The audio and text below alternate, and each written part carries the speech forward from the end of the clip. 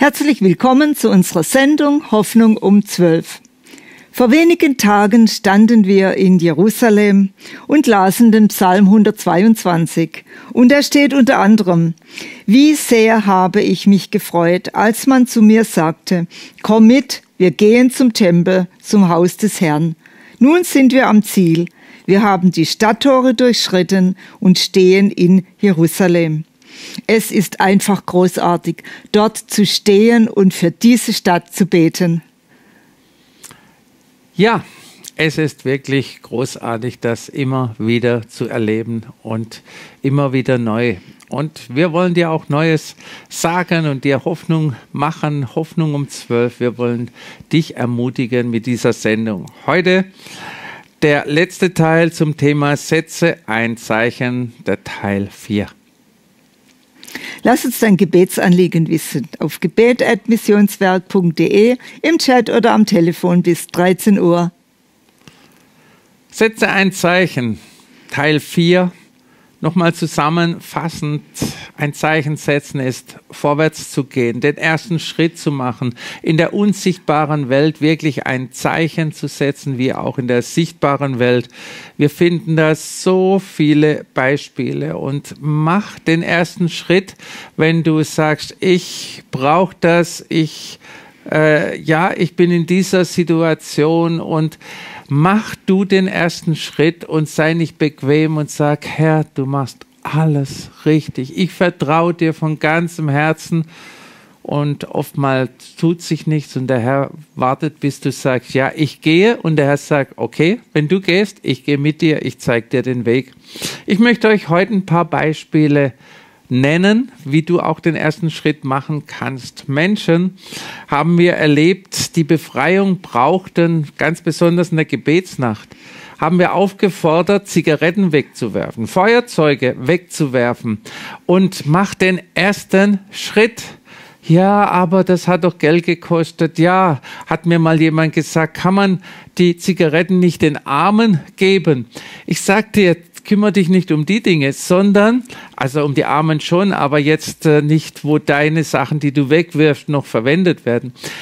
Ersten Schritt zu machen. Wirf das weg, wenn du suchkrank bist. Wirf das weg und sag, ich wirf das weg. Ich will das Zeug nicht mehr. Herr, hilf du mir, dass ich die Sucht nicht mehr verfolgen muss und, oder nachfolgen muss. Feuerzeug wegwerfen, ja, gestohlenes zurückgeben. Oh Herr, vergib mir, ich hab's doch so, äh, hab's doch gar nicht gern getan und es tut mir so leid und so weiter. Mach wirklich ein Zeichen und sage, ich nimm das Zeug und bring's zurück und bring noch einen Blumenstrauß dazu und sage, Entschuldigung. Menschen vergeben, das ist auch ein Zeichen setzen und das ist oftmals das schwerste Zeichen. Jemand vergeben. Denen, die vielleicht auch dir Böses getan haben, das ist ein Zeichen setzen. Da kommt nicht Gott vom Himmel runter und sagt, ich gehe dorthin, ich habe eh allen vergeben und äh, habe die Vergebung möglich, ich, ich mache das schon. Oh Herr, Herr, mach durch. Nein, vergeben müssen wir. Das ist ein Zeichen setzen. Oder wie der David da war mit dem Goliath. Alles hatte Angst, das ganze Heer hatte Angst. Und David hat gesagt, mein Gott ist mit mir. Wenn du meinen Gott lästerst, ich komme im Namen Gottes. Und er hatte da auch Erfolg. Das sind Zeichen setzen. Da könnte ich jetzt noch eine ganze Stunde reden. Setze ein Zeichen und du wirst Freude haben. Gott ist mit dir und es geht vorwärts mit dir.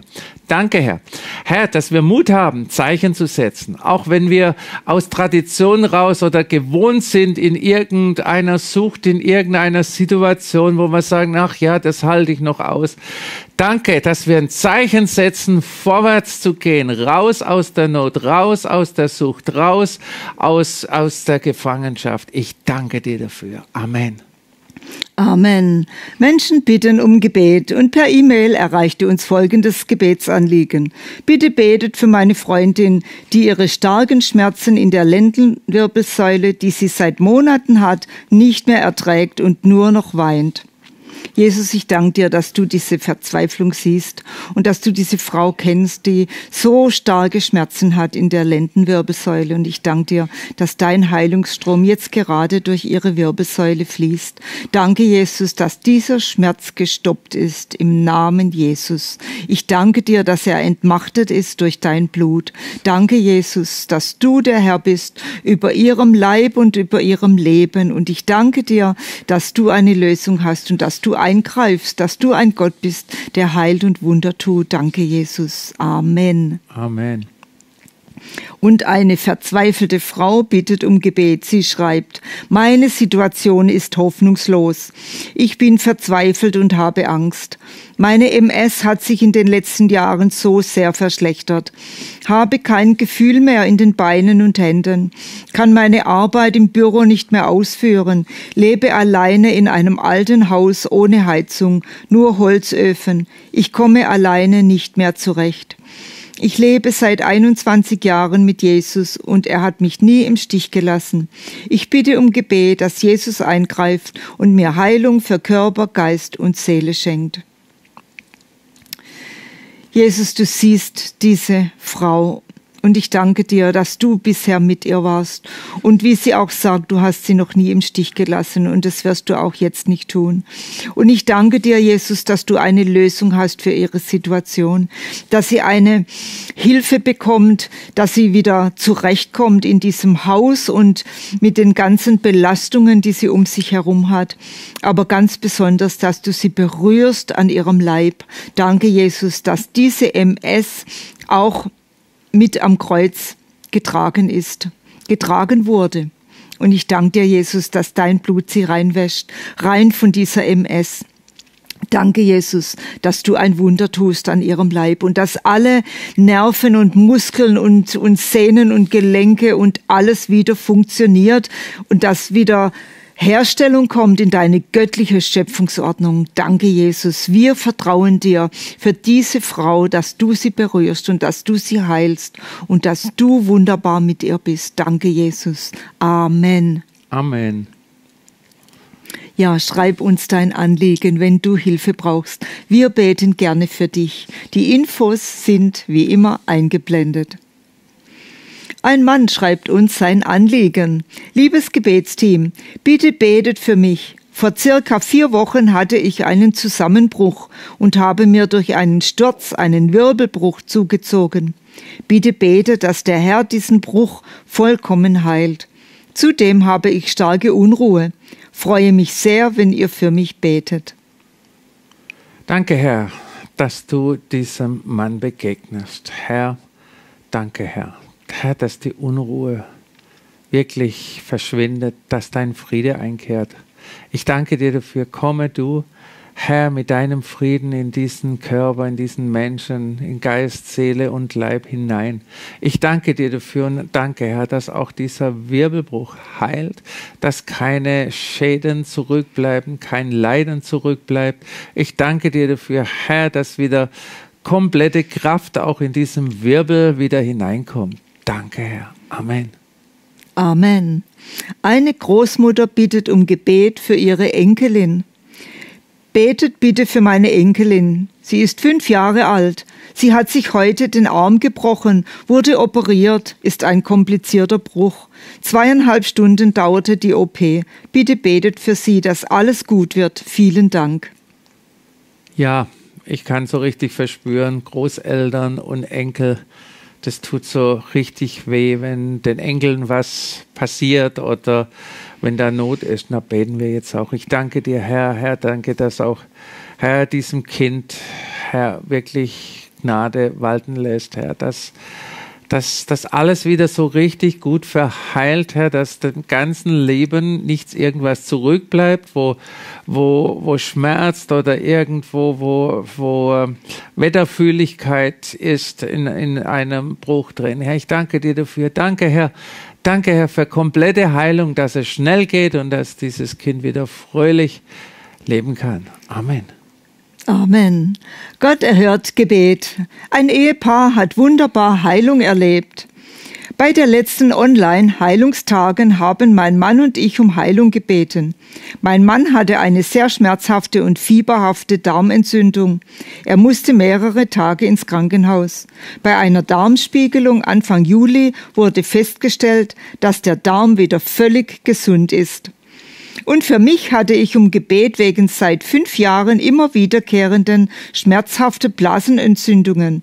Auch hier hat der Herr mächtig eingegriffen. Seit der Gebetsnacht habe ich keine Blasenentzündung mehr bekommen. Dafür lobe und preise ich den Herrn. Wie schön. Der Goliath schrumpfte, schreibt eine Frau. Ich bat euch um Gebet, weil ich ein sehr schwieriges Gespräch vor mir hatte. Ich fühlte mich wie ein kleiner David vor dem Riesen Goliath. Ein Tag vor dem Gespräch fand ich innere Ruhe und Goliath schrumpfte. Es wurde ein gutes Gespräch, bei dem ich auch mutig meine Bedenken äußern konnte. Danke für euer Gebet. Jesus sei Ehre. Ja, auch da können wir Gottes Hilfe in Anspruch nehmen. Und wie sie auch so schön sagt, die Goliaths schrumpfen. Und kurz und bündig schreibt eine Frau, ich bat um Gebetsunterstützung, da ich Blut im Urin hatte. Nun ist es weg. Herzlichen Dank für Ihr Gebet. Und Gott hat immer eine Lösung. Eine Person schreibt, vielen lieben Dank, dass ich für, dass ihr für mich gebetet habt. Die Nachbarin, mit der wir Schwierigkeit hatten, ist ausgezogen. Auch da hat Gott immer wieder eine Lösung. Ja, so manchmal kann man schmunzeln, wie Gott Lösungen hat, auf die man gar nicht kommt, die man gar nicht für möglich hält. Aber Gott hat wirklich, wirklich auch Humor. Und das ist wunderbar. Darum ist wichtig, dass wir auch für Lösungen beten, nicht. Wir schreiben gerne Gott vor, wie er es zu tun hat und geben ihm die ganze Bedienungsanleitung. Gott sagt, nee, ich mache es total anders. Hat das auch bei dir wunderbar gemacht? Melde dich, lass es uns wissen. Wir würden es gerne hier vorlesen. Ja, setze ein Zeichen. Ich sag dir, jetzt hast du so viel gehört über Zeichensetzen. Überleg dir, was dein Zeichen ist, das du als nächstes setzen möchtest. Gott wird mit dir sein. Lass dir es von Gott bestätigen, dass es das ist und setze dann ein Zeichen. Gott wird es nicht für dich tun. Wenn du das Zeichen setzt, er wird mit dir sein und dann geht es vorwärts. Ja, und auch du kannst Gottes Hilfe erfahren und dafür wollen wir auch gerne beten. Wenn du Hilfe brauchst, schick uns dein Anliegen, auch heute am Telefon bis 13 Uhr. Ja, wir sind wieder zurück von Israel und ich möchte dich einladen, nächsten Sonntag wieder mit online im Gottesdienst zu sein, 10 Uhr auf YouTube oder im Stream. Wir werden dort auch einiges von der Israelreise sagen. Sei einfach mit dabei. Und wir freuen uns, bis wir dich wieder sehen oder hören. Der Herr segne dich. Alles Gute, der Herr segne dich.